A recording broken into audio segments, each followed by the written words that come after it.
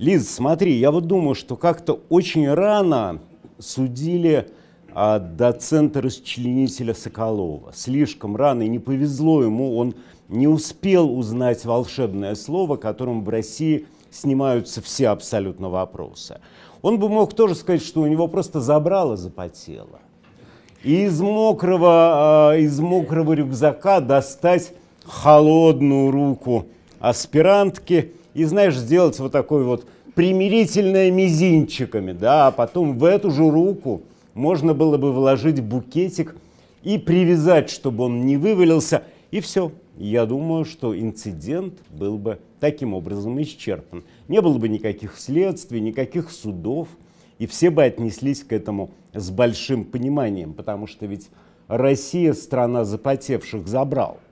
И вот э, совсем только что буквально выяснилось, что запотело забрала у питерских милицейских начальников в поликлинике МВД, да, где за 200 тысяч делали справку об инвалидности любому сотруднику, а так как через запотевшее забрало и не видно, кто это, инвалид это или не инвалид. Есть у него ноги или ему их отгрызли либералы на митинге. Ну вот не видно, и теперь они сами в шоке. Оказывается, все практически не инвалиды. И в Ивановской области тоже они запотели, эти забралы чертовы, да, там. Чины наркоконтроля, оказывается, открыли собственную успешную большую лабораторию по изготовлению наркотиков и организовали мощную сеть, которая торговали, э, торговала наркотиками. Они, конечно, саму-то лабораторию видели, но поскольку у них забрало, запотело, они в шоке. Что там делали? Они думали, что там варят геркулесовую кашу и э, для розничной торговли. И вот теперь не, в Не-не-не, лучше для благотворительности. Конечно. Мне кажется, это более логично. И вот ты понимаешь, да, сейчас идет великая кровопролитная смертельная битва за то, возбуждать дело в отношении этого э, пятикантропа, который прославился на площади Восстания, или не возбуждать. Я имею в виду 23 января. Вот если, не воз, если возбудить, то есть риск, что на следующем мятеже, на следующем митинге а, так же охотно бить, как били в этот раз, может быть, милиционеры не будут, потому что это деморализует личный состав.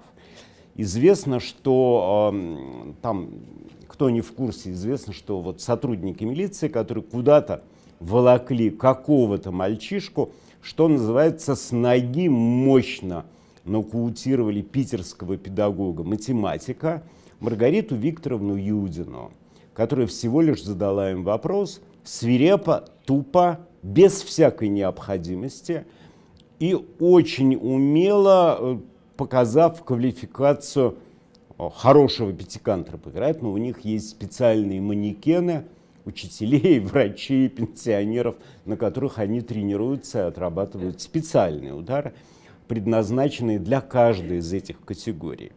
Маргарита Юрьевна, пролетев метра три, а, грянулась головой об асфальт и оказалась в больнице, а тут начинается самое интересное. В больнице ее почему-то держали голой.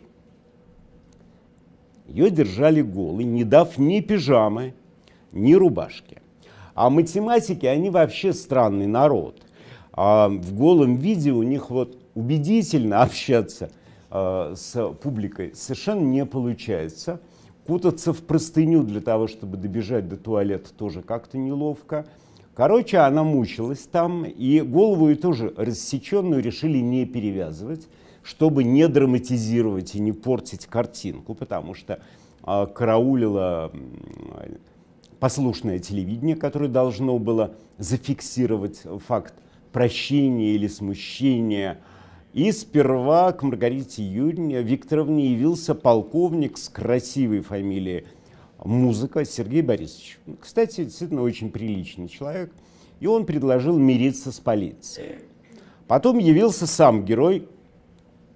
Фамилию он не сказал. Вот он возник с букетиком перед голой, судорожно задергивающейся простыней дамой и представился. Я Коля, вот мент переднего легания.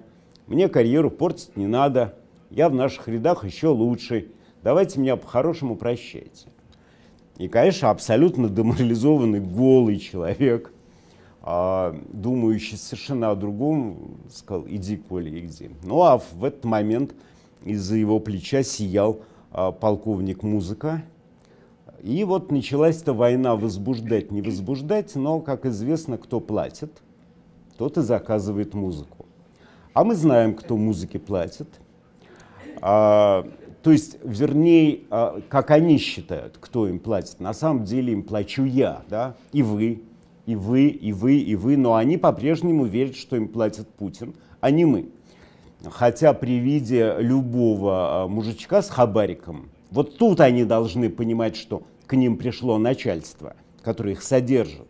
И этого мужичка или эту математичку питерскую они должны воспринимать как начальство. Они этого не умеют делать, потому что абсолютно идиотский закон о полиции. Кстати, завтра вот у Маргариты Викторовны юбилей 55 лет, мы ее поздравляем, коль скоро вот воссияла такая своеобразная политическая звезда над Россией.